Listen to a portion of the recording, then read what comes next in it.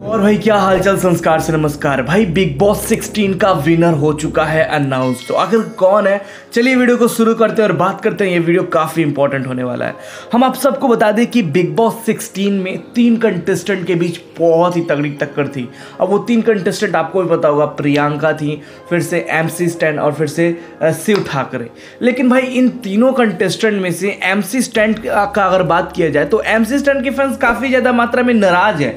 इस बात को लेकर कि वो चाहते हैं कि वो विनर हो। मतलब वो वोट और सपोर्ट कर रहे हैं, लेकिन मतलब उनको आगे होते हुए दिखाया नहीं जा रहा है। लेकिन अगर वही बात करें प्रियंका का और शिव ठाकरे का तो ये दोनों कंटेस्टेंट एमसी स्टैंड से आगे हैं। जी हाँ एमसी स्टैंड तीसरे नंबर पे हैं पहले, दूसरे नंबर पे हैं शिव ठाकरे और पहले नंबर पे हैं प्रियंका। और प्रियंका विनर होंगी, ऐसा रिपोर्ट आया है हमारे सामने। अब आप मुझे कमेंट बॉक्स में ये बताइए कि प्रियंका को विनर होना चाहिए या फिर शिव ठाकरे को या फिर एमसी स्टैंड को कमेंट बॉक्स में बताइए।